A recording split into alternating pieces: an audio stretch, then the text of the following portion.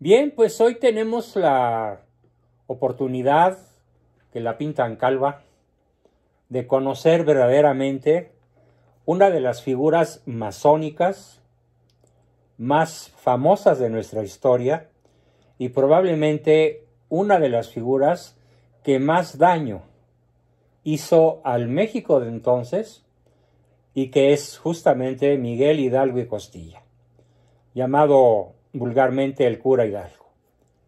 No porque se le llame así en forma despectiva, sino más bien en forma de ahorrar palabras. ¿no? En vez de decir don Miguel Hidalgo y Costilla, el cura Hidalgo. ¿Quién fue este personaje tan poquísimo, tan poco conocido? en prácticamente en todo el mundo. Eh, la figura de él ha sido exaltada, ha sido repintada, alterada, le han quitado aspectos tenebrosos, le han puesto, le han colocado aspectos heroicos, maravillosos, extraordinarios, épicos, pero hoy vamos a conocer la verdad. Y en gran medida esta verdad tan amarga la vamos a conocer de su puño y letra. Para ahora sí que para que la cuña apriete, que sea del mismo palo, ¿no? Pues qué mejor que conocer su retractación. Es decir, las palabras manuscritas que él escribe y que compartiré con ustedes porque me las envía desde Phoenix, un magnífico amigo mío que no sé si anda por ahí, don Jorge Pérez Valencia, a quien le agradezco muchísimo esta valiosísima aportación de los manuscritos en los cuales Hidalgo se retracta de todas sus salvajadas, de sus nefandos crímenes que claman al cielo.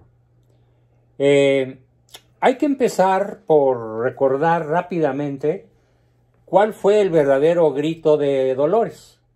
Hay que recordar lo que realmente gritó él. Obviamente él no gritó Viva México, porque él no concebía en su cabeza más que a la Nueva España y a España. En su mente no había México. No gritó Viva la Virgen de Guadalupe. Eso se lo atribuyen a él, pero realmente no lo dijo sí gritó, muera el mal gobierno. Sí gritó, viva Fernando VII, porque es el rey de España, Fernando VII, había sido tomado prisionero por los franceses y bueno, pues esto había causado una gran indignación en, las provincias de la Nueva España y del Perú y de La Plata y de todos los eh, dominios de España pero con el gritar Viva Fernando VII, que es el rey de España, evidencia Hidalgo que en realidad no buscaba la independencia. Pero el grito fundamental de Hidalgo, y cómo me encantaría que, en honor a la verdad histórica, algún día algún presidente se aventara la puntada de decirlo desde el balcón de palacio. Lo que realmente gritó el cura Hidalgo fueron otros dos gritos vamos a matar gachupines y le doy medio peso al que me siga a pie y un peso completo al que me siga a caballo. Pero hay que considerar que en aquel tiempo la moneda mexicana a valor actual pues realmente valía miles de pesos, porque era una moneda en oro, era una moneda fuerte, cosa que se fue perdiendo conforme la masonería fue degradando al México independizado por Iturbide hasta llegar a nuestros días, que es un México eh, no solo en lo económico, sino en otros muchísimos aspectos, profundamente devaluado. Así que no pierdan de vista los dos principales gritos de Hidalgo. Vamos a matar gachupines y le doy medio peso al que me acompañe a pie y un peso completo al que me acompaña a caballo. Y fue así como juntó una gigantesca turba, que llegó a tener hasta 80 mil componentes y entre caballería y, e infantería, pero ojo, cuando menos el 80% de aquella turba, de aquella plebe, de aquella multitud que seguía a Hidalgo, pero ante todo por dinero, por dinero, eran presidiarios. Porque a su paso por las principales ciudades del Bajío, del centro de la República, de lo que ahora es México, Hidalgo abría las cárceles.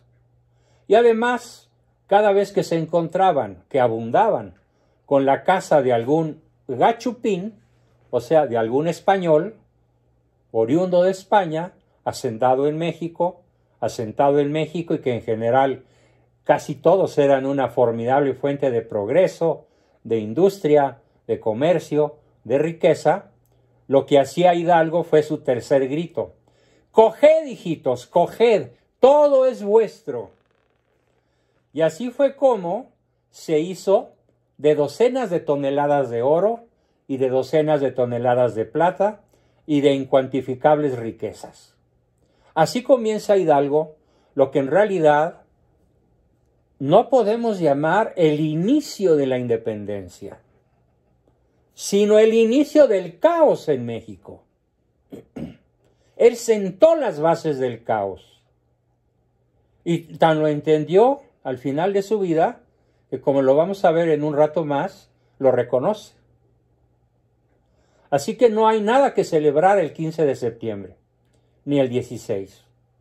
Son días de luto para un mexicano conocedor de lo que realmente ocurrió. Nada hay que celebrar.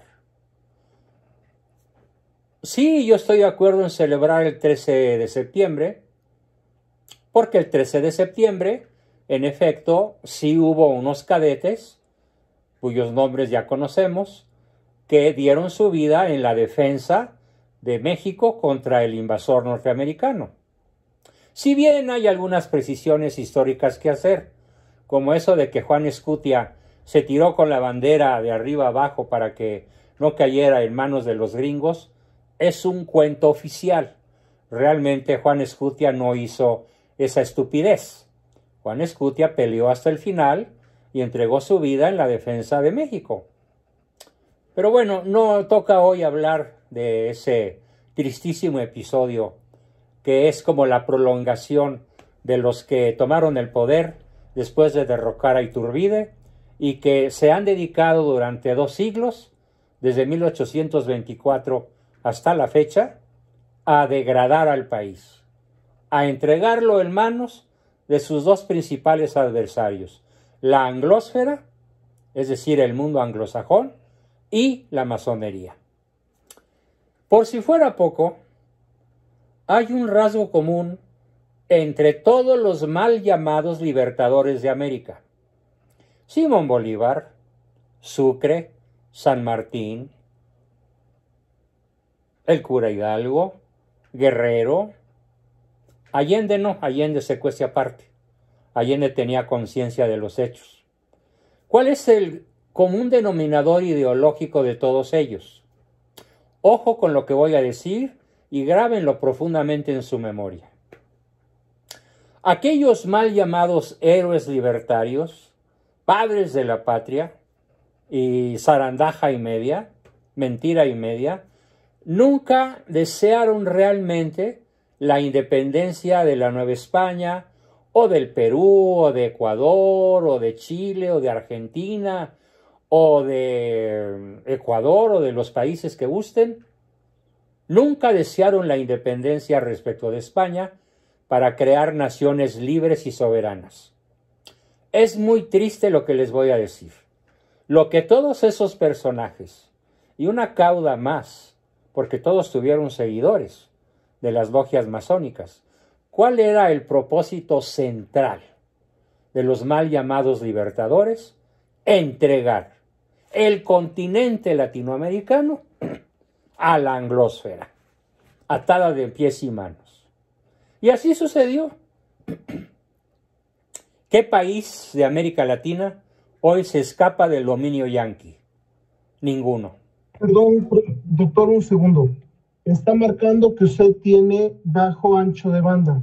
Entonces les pido a todos, por favor, para bajarle un poco el ancho de... No, voy a subir el ancho de banda. Gracias, Ricardo. Ya está en el, el máximo nivel de banda. ¿Ya lo ves? Ricardo? Richard? ¿Ya viste cómo subió de potencia mi banda? Mejoró un poquito, por lo menos ya no salta tanto su voz. Su video sigue mal, pero por lo menos su voz no salta tanto. Y todos los que puedan, por favor, apaguen su video. Excelente, y nos quedamos con el, con el audio. Muy bien, continúo.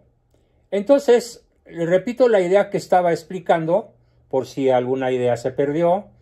El propósito central de todos los mal llamados libertadores de América Latina fue el de entregar, atada de pies y manos a América Latina, a Inglaterra y a los Estados Unidos. Cosa que se logró en México a partir de 1824. Se consolidó en 1847 con la pérdida de la mitad más grande de nuestro territorio, estamos hablando de 3 millones de kilómetros cuadrados, y se redujo a 2. Y estamos hablando de que desde esa fecha, y sobre todo con Juárez, y sobre todo con el PRI, y ahora más que nunca con este eh, mal gobierno, y resulta piropo llamarle mal gobierno, entregado a logias opuestas a las de Biden pero finalmente logias masónicas. Esto era el propósito de los mal llamados libertadores. Y ahora vamos a ver más en concreto la historia del cura Hidalgo.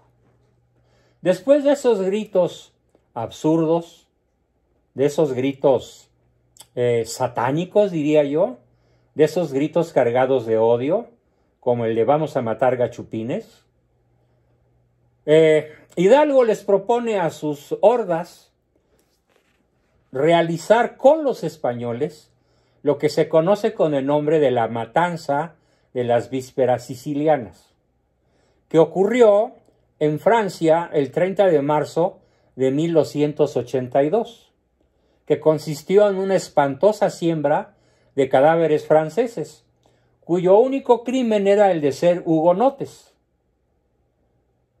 fue una matazón infame, terrible, de miles de franceses, que le devolvió a Sicilia la libertad.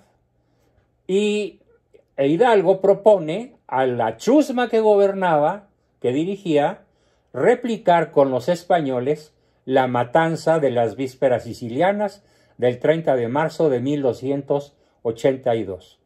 Desde luego, Allende rechaza esta idea Allende era el militar de más alta graduación en la chusma de Hidalgo y era el que le daba cierta dignidad y cierta presencia de valor y estrategia militar a aquella chusma infernal. Pero invariablemente como Hidalgo era mucho más inteligente, más astuto, más brillante, al grado de que lo apodaron el zorro. Y el zorro logró subordinar a Allende por lo tanto, nunca Allende logró sobreponerse a la furia infernal de Hidalgo. Eh, aquí tengo una nota que les quiero leer tal cual. Es claro que la intención de Hidalgo era una intención profundamente diabólica y que le daba el mayor gusto posible a Satanás. ¿Por qué? Porque por antonomasia Satanás es el homicida de profesión y desde el principio. Lo dice San Juan, evangelista, en el capítulo 8, versículo 44. Y le homicida era ab inicio, y era homicida desde el principio.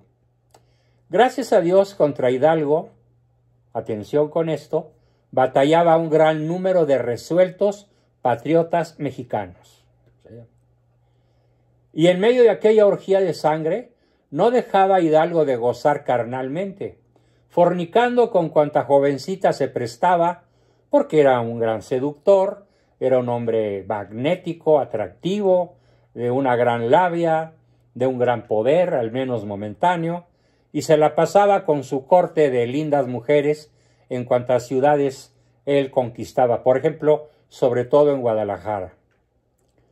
Muy distinto al pensamiento de Hidalgo era el pensamiento de Allende, quien en todo caso sí debería ser reconocido como un militar honorable, como un militar que nunca participó de las orgías de sangre de Hidalgo, cuya principal orgía fue el asesinato, participando él personalmente, espada y pistola en mano, de la matanza celebrada el 16, del 16 al 17 de septiembre de 1810, con el asesinato de 300 españoles, ancianos, mujeres y niños y heridos en lo que hoy se conoce en la ciudad de Guanajuato como la Alhóndiga de Granaditas.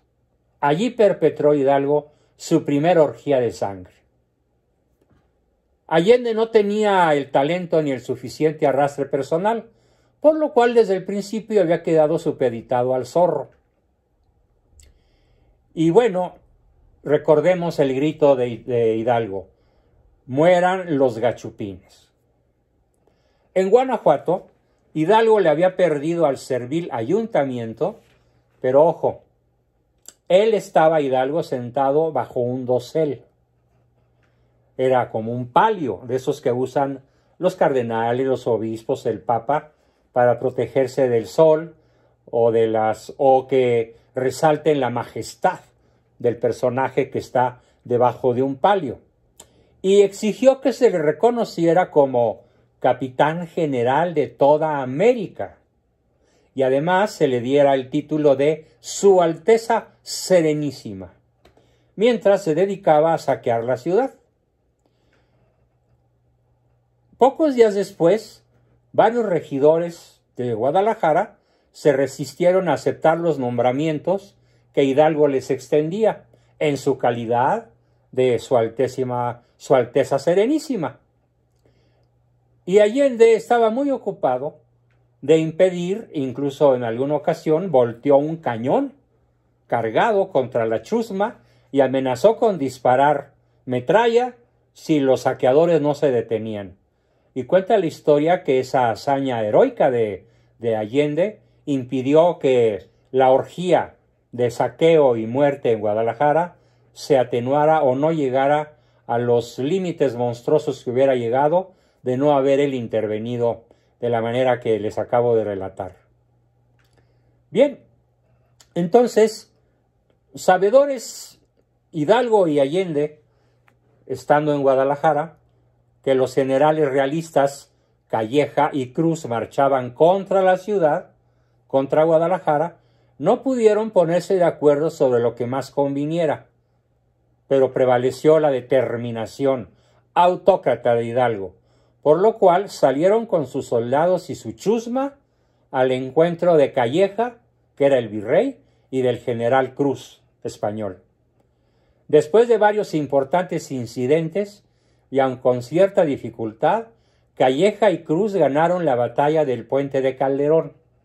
Así se llamó la batalla. Destrozaron las huestes de Hidalgo, el 17 de enero de 1811. Fíjense nada más entonces. El 10 de septiembre, cuatro meses antes, septiembre, octubre, noviembre, diciembre, enero, ¿cuánto duró la campaña de Hidalgo? Cuatro meses. ¿Qué ocurre el 17 de enero de 1811? Que los ejércitos, las chusmas de Hidalgo, en Puente de Calderón, fueron deshechos, muertos y dispersados. ¿Sí? Además, el brigadier Calleja había recobrado Guanajuato el 25 de noviembre. Entró a Guadalajara el 21 de enero y el 5 de marzo reconquistó San Luis Potosí. Y mientras el brigadier don José de la Cruz recuperaba Valladolid, hoy Morelia, el 28 de diciembre. O sea que la golpiza la brutal derrota militar que sufrió Hidalgo en cuestión de semanas y meses fue verdaderamente apocalíptica para él y para sus, su chusma. Además, el gobernador de Sonora, don Alejo García Conde, vencía en Hermosillo, eh, don Manuel Ochoa recobraba Zacatecas el 17 de febrero y al mismo tiempo en San Blas el 31 de enero, en San Antonio Béjar, California el 1 de marzo, Monclova el 17 de marzo y así quedó reconquistado el norte y el centro del país para las huestes españolas. De fuga entonces, para salvar el pellejo, Hidalgo emprende la más vergonzosa huida. Voy a narrar la huida para que vean si este personaje merece el nombre de héroe de la patria o iniciador de la independencia. No inició nada.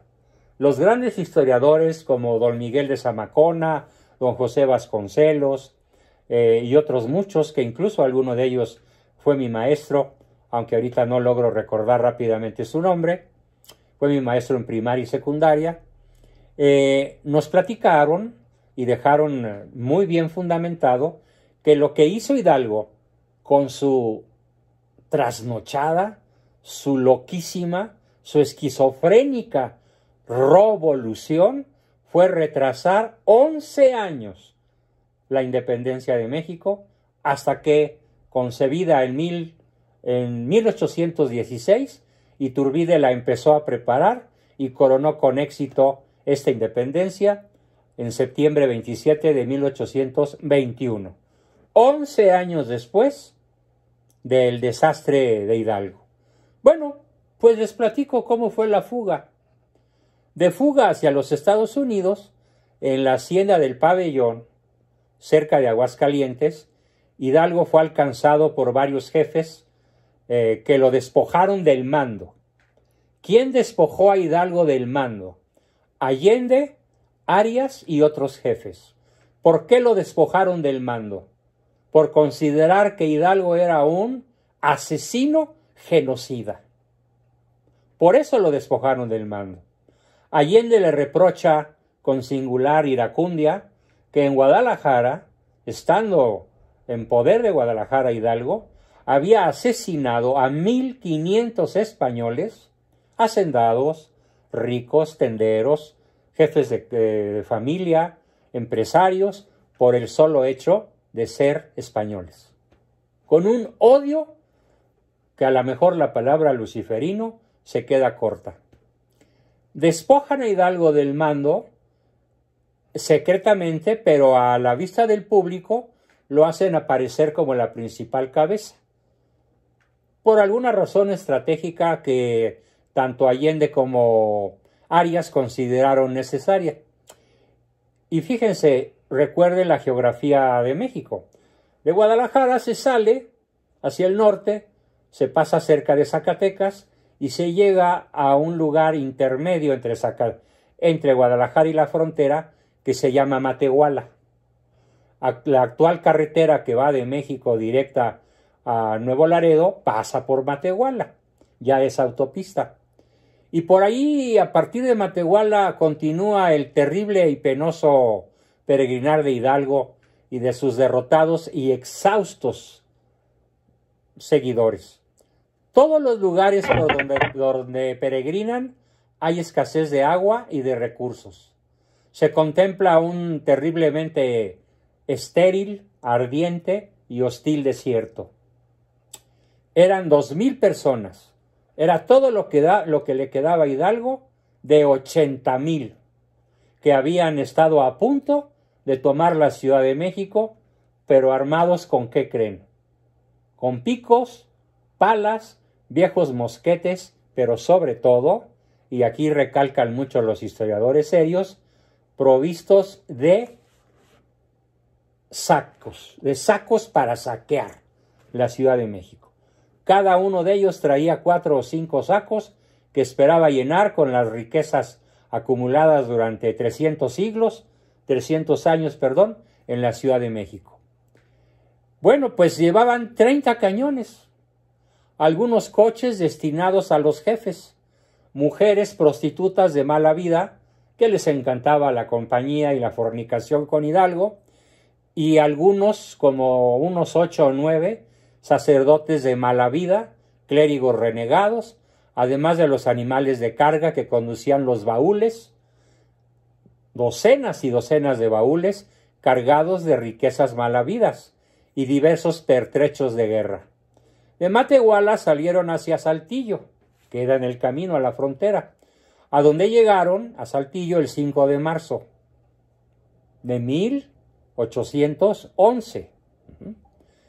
Hidalgo venía enfermo y de mal semblante, se quejaba ocasionalmente y rechazaba las ceremonias y las celebraciones, porque se sentía mal, de malas y derrotado. Sin embargo, cuando se juntan todas las, las partidas, las chusmas, que eran tres o cuatro, se juntan todos en la ciudad de Saltillo, le dan una fiesta Hidalgo que duró tres días. Tres días de borrachera, tres días de orgía, tres días de disipación, de holgorio, como hoy, desgraciadamente, probablemente más de la mitad de los habitantes de este país pasaron entre ayer y hoy una noche de holgorio, tequila y pachanga, sin ni siquiera tener la menor idea de que no es un día para celebrar, sino un día para recordar con el corazón triste por la pena de aquellos gravísimos y terribles sucesos. El 17 de marzo de 1811, Hidalgo abandona la ciudad de Saltillo y se dirige a Monclova, camino al norte. Lo escoltan todavía Jiménez y Allende con, con poco más de mil hombres. Los jefes principales iban en 14 coches y detrás de estos a larga distancia 24 cañones de diversos calibres y bagajes. Ocultos, ojo, ocultos, producto de sus tropelías sin final, llevaba Hidalgo 500 mil pesos en dinero y barras de plata. Bueno, considerando que cada peso de aquellos podría equivaler a cientos o miles de pesos al curso monetario actual. Después de transitar penosamente por lugares desérticos y sin agua, llegaron a un lugar llamado La Joya, el 20 de marzo. El 21 emprenden la marcha rumbo a un lugar muy famoso en la historia que se llama la Acatita de Baján que es una especie de noria, un lugar con, donde se espera que haya agua abundante para dar de beber a aquellos mil hombres, ya no eran dos mil, ya eran la mitad, sedientos como nunca.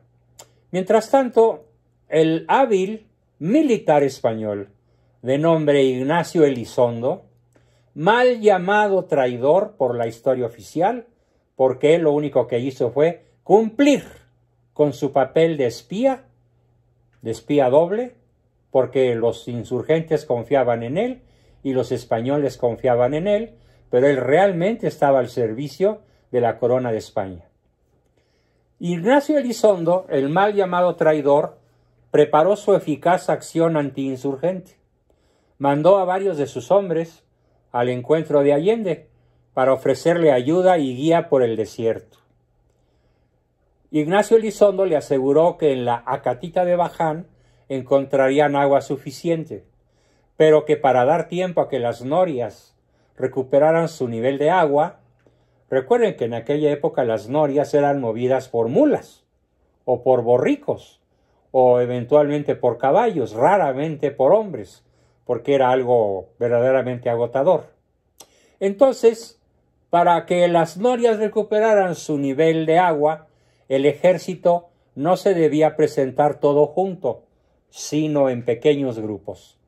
Y bueno, pues los insurgentes eh, ingenuamente creyeron el cuento de Ignacio Elizondo y muy temprano, el 21 de marzo, la caravana insurgente avanzó a La Joya, con dirección a Baján. Tenían la esperanza de encontrar fuerzas amigas al pasar por Agua Nueva, pero no encontraron ni siquiera agua para saciar la abrumadora sed, la abrasadora sed. El desplazamiento continuó por aquellas llanuras áridas, de calor sofocante, haciéndose a cada momento más insoportable la marcha, por diversas causas, lo embarazoso del bagaje, los cañones, el tesoro, las armas, eh, el alimento que les quedaba, etc. La escasez de agua era provocada por los realistas, ya que en aquella región todas las norias se habían sido asolvadas, o sea, inutilizadas por el ejército realista como parte de su estrategia. Claro, después de servirse agua con la cuchara grande, ¿no? Por su parte, Francisco Ignacio Elizondo Villarreal, el mal llamado traidor, ahora dije su nombre completo, por los historiadores oficiales de mentalidad masónica, estaba muy bien preparado. Al frente de 342 soldados veteranos, formados por milicianos y por vecinos españoles de diferentes ciudades de la parte norte del país, también había indígenas comanches y mezcaleros de la misión de los peyotes, era una misión de sacerdotes franciscanos, y de varios oficiales, ya se encontraba este pelotón de 342 soldados, ya se encontraba apostado, escondido, detrás de un recodo de la loma, eh, conocida con el nombre de la loma de los tontos. bueno, a partir de ahí la bautizaron con ese nombre probablemente. Además, Elizondo llevaba diez mulas cargadas con reatas y lazos de, lechuguilla, o sea, de lo que ahora conocemos con el nombre de ixtle, de maguey. Eh, son fibras extremadamente potentes y si no se cortan de manera eh, transversal, prácticamente son, al tratarse de estirar, irrompibles. Y en hoy las lomas llamadas las lolas del prendimiento, así se llama hoy el lugar, que está ubicada a tres cuartos de legua adelante de Acatita del Baján, Ignacio Elizondo colocó sus fuerzas en el recodo de la loma, sitio no visible para los que van llegando. Dio indicaciones para que sus tropas se formasen en batalla, fingiendo hacer honores militares al paso de Allende y de los demás jefes. Honores militares.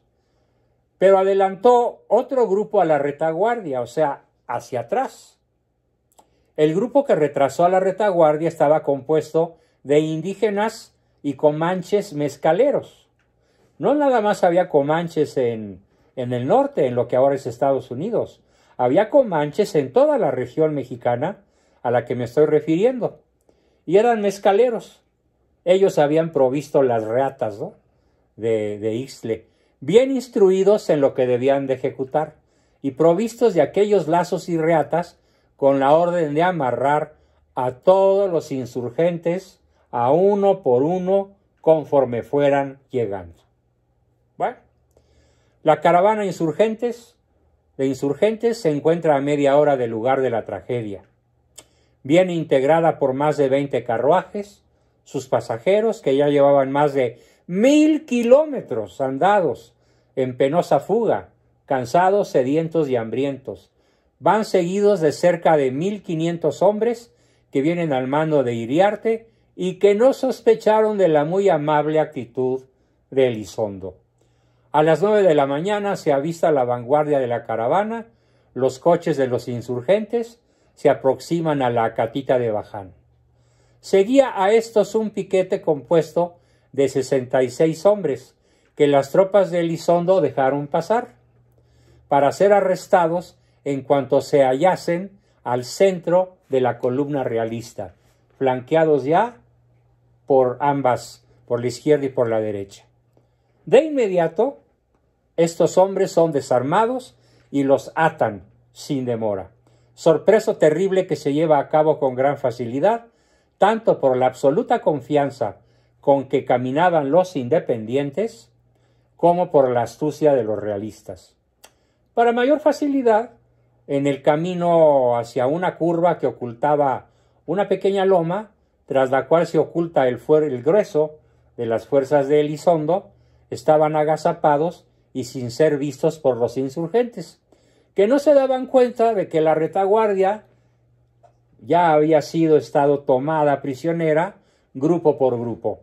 Porque acuérdense, les habían dicho, no vayan todos juntos, vayan de grupo por grupo para que a la hora de tomar agua no se abalancen y se queden sin tomarla.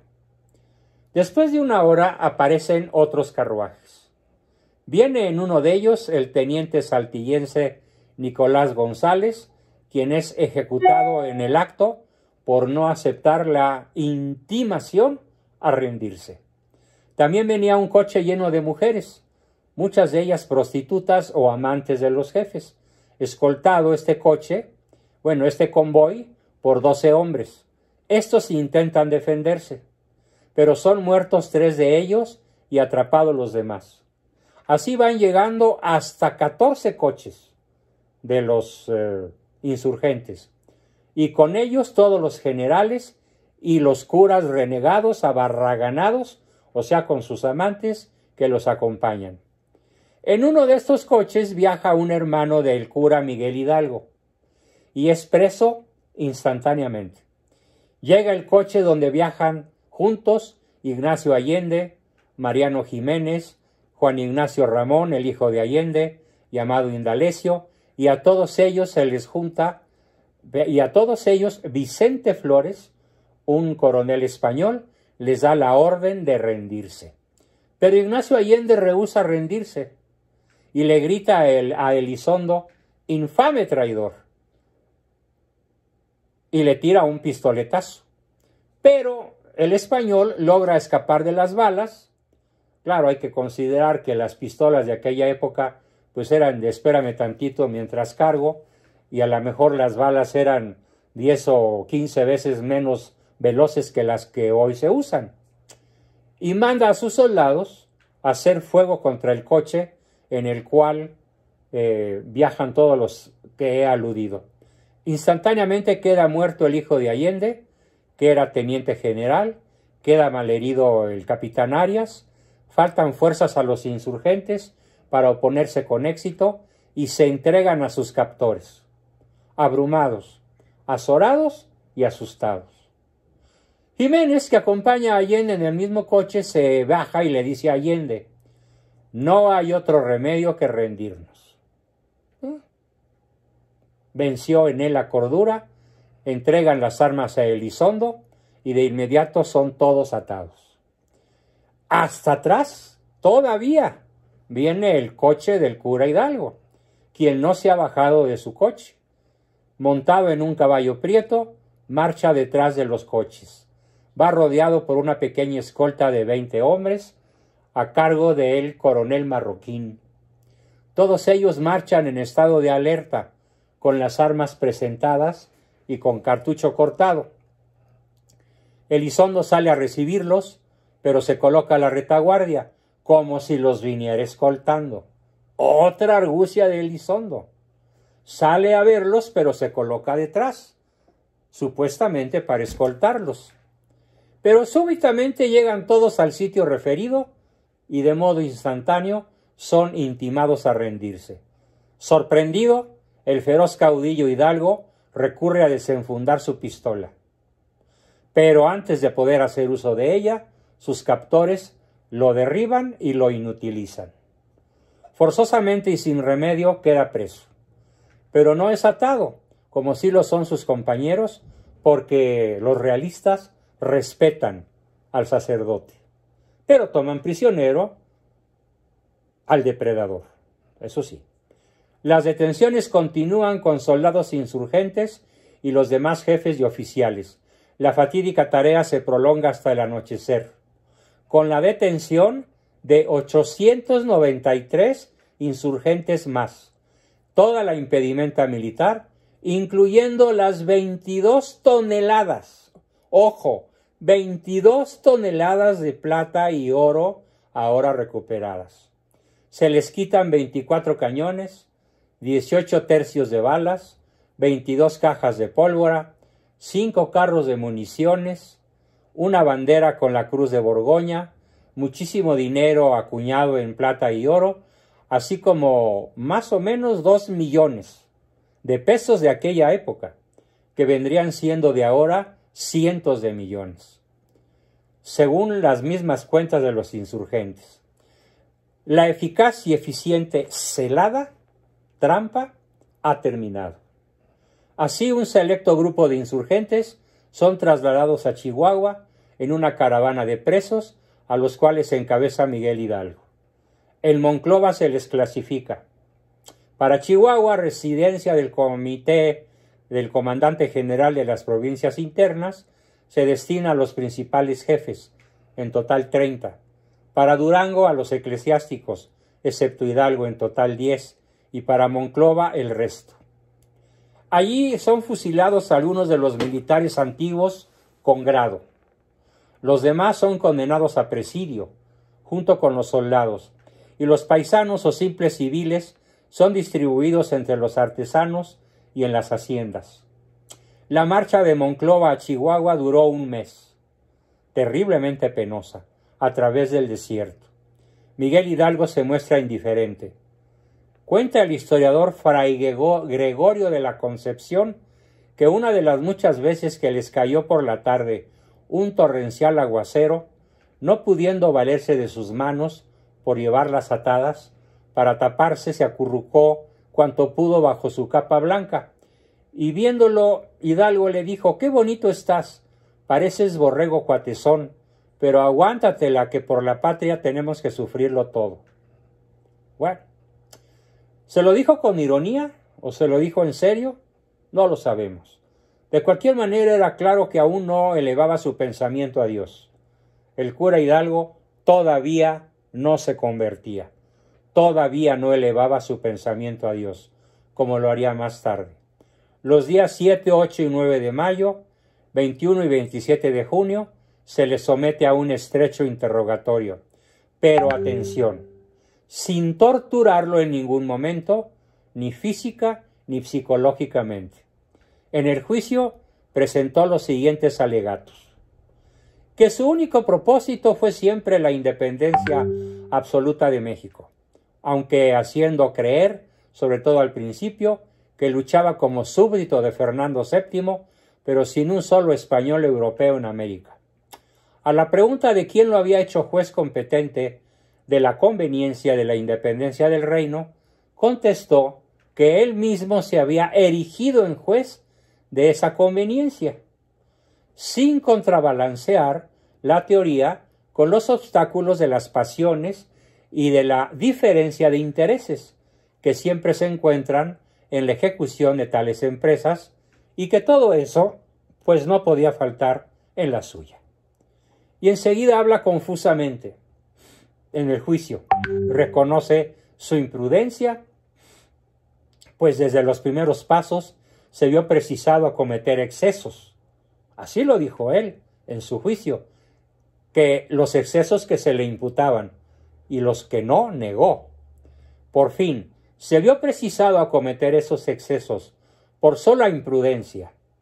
¿O fue el principal responsable de ellos?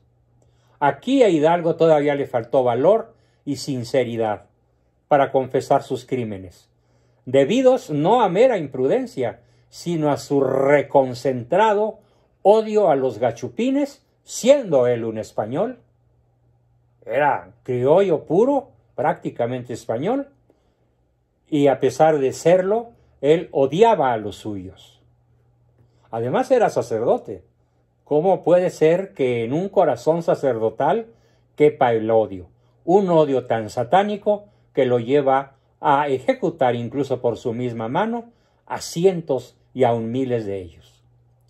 A una nueva pregunta sobre sus propósitos, Hidalgo contestó mintiendo, pues dijo que su ánimo siempre fue el de poner al reino a disposición del señor don Fernando VII, hasta que saliese de su cautiverio. Y luego al contestar la pregunta 38 se contradice, aunque no muy claramente, pues tuvo que confesar que en un manifiesto dirigido al pueblo se propuso probar que el americano debe gobernarse por americano, así como el alemán por el alemán, etc. Y que no podía negar que había echado mano de la propiedad ajena, sin que a ninguno de los insurrectos se le despojara de sus bienes, pero dijo que eso fue porque no es lo mismo cortar de lo ajeno que de los propios seguía mintiendo. Y en cuanto a los caudales enormes robados a la iglesia, aseguró que lo fueron en cantidad de préstamo. Qué gracioso, ¿no? 22 toneladas de eh, metales preciosos de préstamo. ¿Cómo ven? Obviamente esto pues nadie se lo creyó. Y explicó que para extender su movimiento no había tenido más que enviar comisionados por todas partes, los cuales hacían prosélitos a millares por donde quiera que iban. Dijo que Natotomilco tomó una imagen de la Virgen de Guadalupe y la puso en manos de la turba, por parecerle eh, muy buen a propósito para atraerse a la gente. Así es que confesó no haberlo hecho por amor a la Virgen de Guadalupe, ni mucho menos para enarbolarla como enseña de unidad nacional, sino para arrastrar gente suficiente que le permitiera coger a todos los gachupines, militantes y pacíficos, sin distinción, viniéndole al mismo tiempo o poco después la idea de matar a cuantos pudiera. Este es el verdadero cura Hidalgo, el que sí existió, no el que los historiadores oficiales pagados por el narcosistema se imaginan. Hidalgo declaró que los asesinatos cometidos por él en Valladolid y Guadalajara los mandó cometer en el campo a horas desusadas para no poner a la vista de los pueblos, fíjense lo que dijo Hidalgo, un espectáculo tan horroroso. Por eso los ajusticiaba a las dos o tres de la madrugada. Y es clarísimo que más criminalmente de lo que él mismo confiesa, pues si los indios y la canalla de sus ejércitos le hubieran exigido aquellos asesinatos, no los habría ordenado tal como los ordenó, en secreto, a horas desusadas y en lugares muy alejados de los cuarteles. Por otra parte, aquella canalla que él mismo había engendrado, ahora estaba decepcionada de él. Y ahora me paso a platicarles cómo fue o cómo redactó su arrepentimiento. Comienza así. Ya en las tinieblas de su prisión, ya sabiendo que va a ser fusilado, escribe. En mis pensamientos, decía ya arrepentido, días antes de morir, tienen mis pensamientos tienen a mi corazón en un tormento insoportable. Aunque la noche de las tinieblas que me cobijan, que me cegaban, se han convertido en luminoso día. Y en medio de las más justas prisiones se me presenta tan perfectamente la imagen de los males que he ocasionado a, la América que el sueño se me ha retirado de mis ojos y mi arrepentimiento me ha postrado en cama. Y continúa. Ah, americanos, mis compatriotas, europeos, mis progenitores, y sobre todo insurgentes, mis secuaces, compadeceos de mí. Veo la destrucción de este suelo que he ocasionado yo. Veo la ruina de los caudales que se han perdido. Veo la infinidad de viudas y huérfanos que he dejado a mis espaldas. Veo la sangre que con tanta profusión y temeridad he vertido. Y lo que no puedo decir sin desfallecer, veo la multitud de almas que por seguirme estarán ya en los infiernos. Allí ya es el hidalgo arrepentido. Nótese que no se dirige nada más a los habitantes de la Nueva España, sino a los americanos todos, como compatriotas suyas, suyos, pues bien entendía Hidalgo ya que sus crímenes tenían trascendencia inevitable en toda la América hispano-indígena. Y seguía mostrando lo más íntimo de su pena, de su arrepentimiento y de su confianza en la misericordia de Dios. Escribe, la santidad de nuestra religión, que nos manda perdonar y hacer bien a quien nos hizo mal, me consuela, porque espero que os, compadeceréis de mí Perdonadme unos, las víctimas, los males que os he inferido, y libradme vosotros, insurgentes, de la responsabilidad horrible de haberos seducido. cierto de la misericordia del Señor, pero lo que me aflige son los graves perjuicios que he originado. Además, vean, extraordinaria la pluma de Hidalgo. Escribe con una elegancia, con una elocuencia verdaderamente extraordinarias. Exhortaba luego a sus secuaces a reconocer de nuevo a las autoridades contra las cuales él había incitado a la rebelión, y prorrumpía pensando de nuevo en Dios.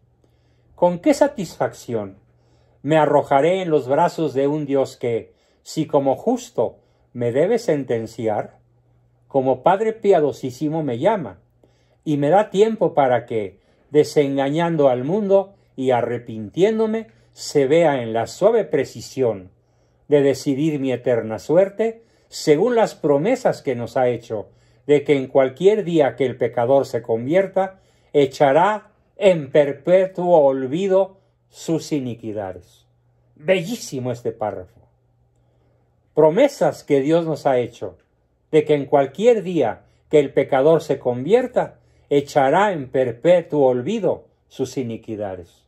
Bueno, lo hago mío, y espero que todos lo hagamos nuestro.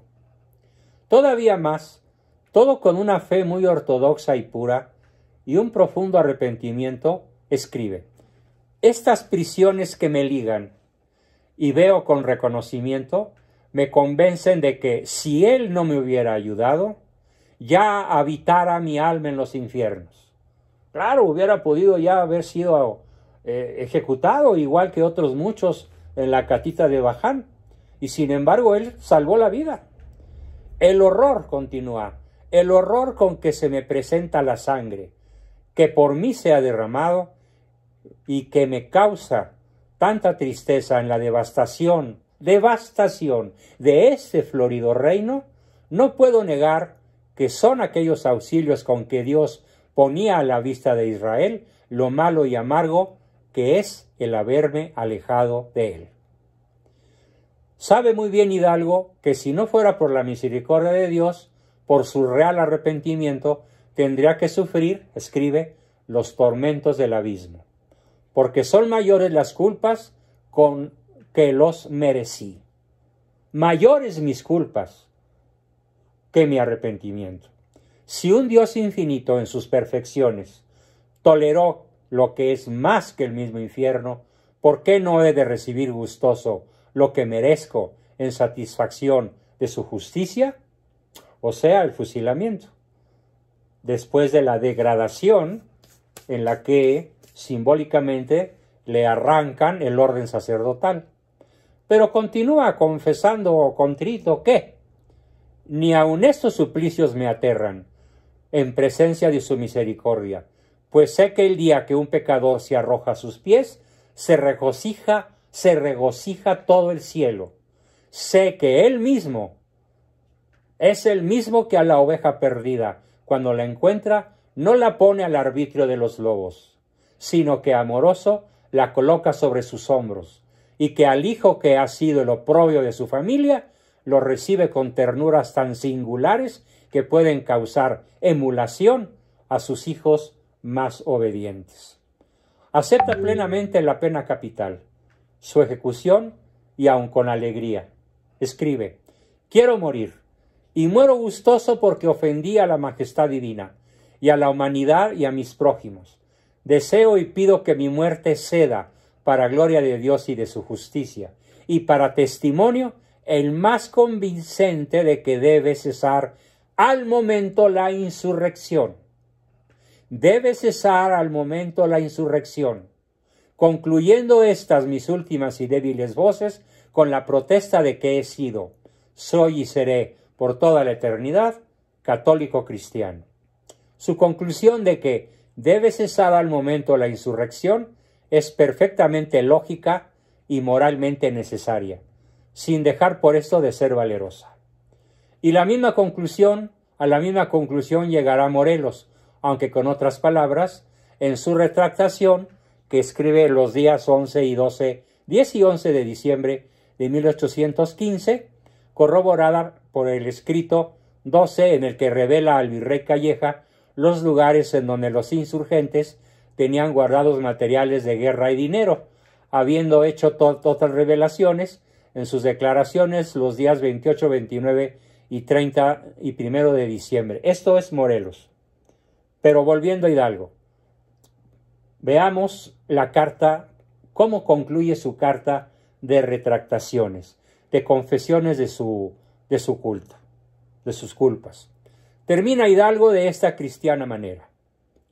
Espero que las oraciones de los fieles de todo el mundo, de todas las naciones, porque sabe que el escándalo de sus crímenes hundió por todas ellas, espero que las oraciones de los fieles de todo el mundo, con especialidad de las de estos dominios, se interpongan para que, dándome el Señor y Padre de la Misericordia, una muerte de amor suyo y dolor de mis pecados, me conceda su beatífica presencia.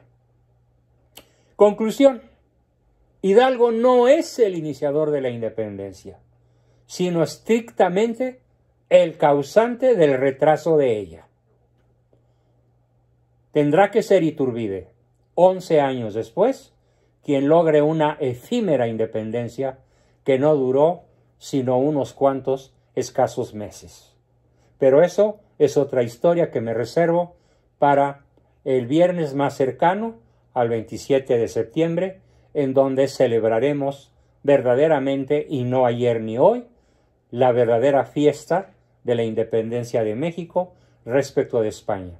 Fiesta que aunque fue un suceso muy efímero, vale la pena recordar, sobre todo por la egregia figura de don Agustín Iturbide, del que, como digo, nos ocuparemos puntualmente en esa otra sesión.